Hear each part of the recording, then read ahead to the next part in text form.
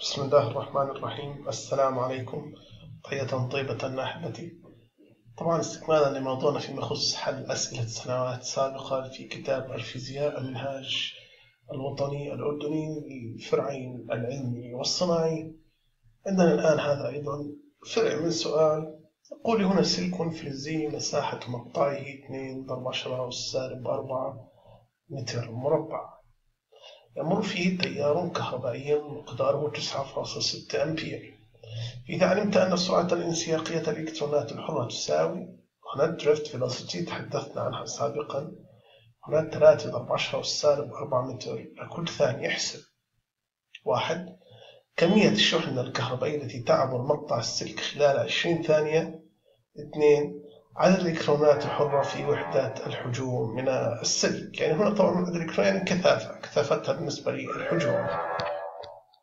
طبعا نحن سبق لنا أن عرفنا طبعا آه، هنا التيار. التيار الكهربائي هو عبارة عن الشحنة على الفترة الزمنية.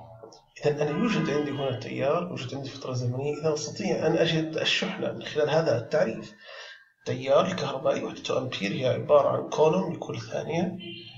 إذا نستطيع أن نحل بهذا المستوى. إذا تيار شحنة على زمن بالضرب التبادلي دلتا الشحنة تساوي التيار ضرب ضرب دلتا الزمن التغير في الشحنة يساوي التيار ضرب التغير آه، في الزمن.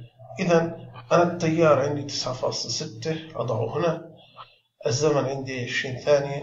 إذا التعويض طبعا هنا يعني خاصية الضرب أنا كتبت العشرين قبل اعتذر عشرين ضرب تسعة فاصلة ستة يساوي مية واثنين وتسعين كولوم إذا الشحنة إذا هنا كمية الشحنة مية واثنين وتسعين كولوم التي تمر في هذا في مقطع هذا السلك.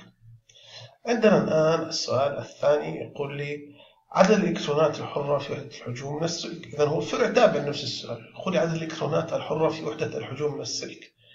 أيضا هذا سؤال مباشر. يجب على الطالب أن يتذكر القانون ويعوض به مباشرة فيه مباشرة طبعا. دعونا نعرف ما هو القانون. القانون الذي يربط هذه الأشياء مع بعضها البعض. كل المعلومات المعطاة في السؤال. التسارع هو عبارة عن ألف. آه، التيار عفوا عبارة عن ألف. في نون في نون مقلوبة طبعا في عين في شحنة الإلكترون.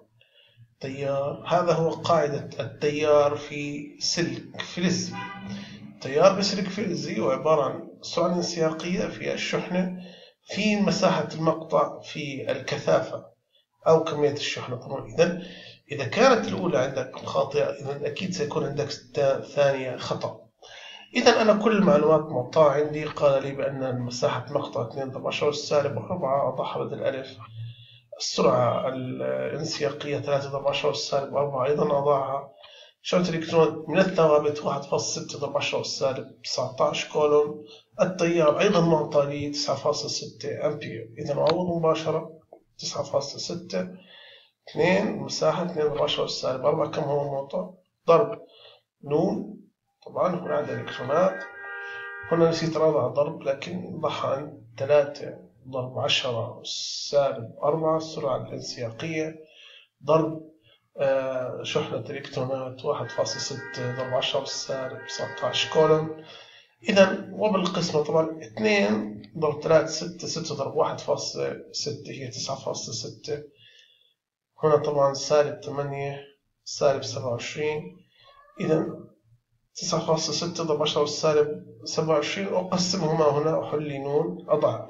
يعني أترك أترك هذا الحل لك عزيزي الطالب. مرة أخرى وأكد أن لا أتوقع من طالب في الثانوية العامة أن لا يكون قادرا على أن يستخدم هذه العمليات في ذهنه مباشرة. إذا يطلع عندي الجواب. هو عندي.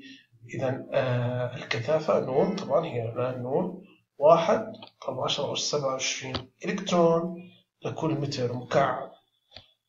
قاعدة الإلكترونات. إذا الإلكترونات في وحدة الهجوم على متر مكعب. إذا هذا هو الجواب النهائي.